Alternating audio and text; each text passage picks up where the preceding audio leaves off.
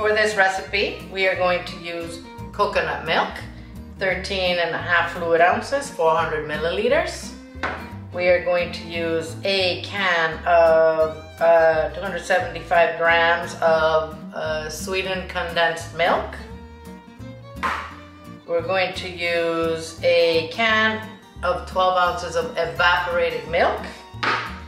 And we're going to use a can of 15 ounces of sweetened co uh, coconut cream, Coco Lopez. You can find this in all the grocery stores pretty much, I think. if not, you can find it online for sure. We are simply going to put everything into this blender.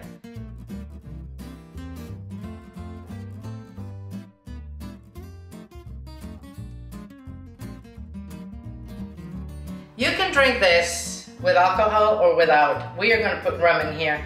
The, the authentic rum, if you want, would be Don Q.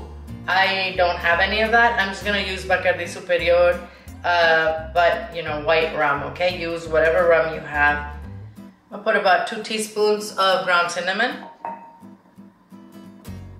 Two teaspoons of vanilla extract. This is, uh, you know, pure vanilla extract. You can add as much rum as you want.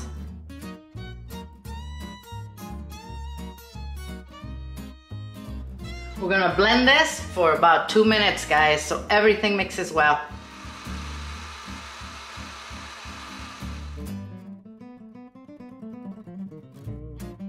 We'll chill this and try it. I'm gonna wet the edge of my glass here.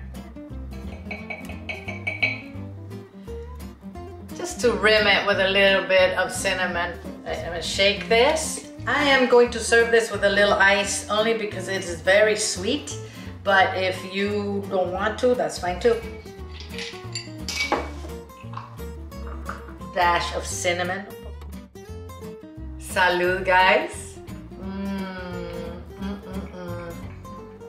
Ha.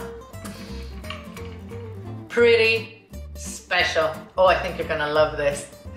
Happy holidays, guys. I'm gonna see you soon. Thanks for watching.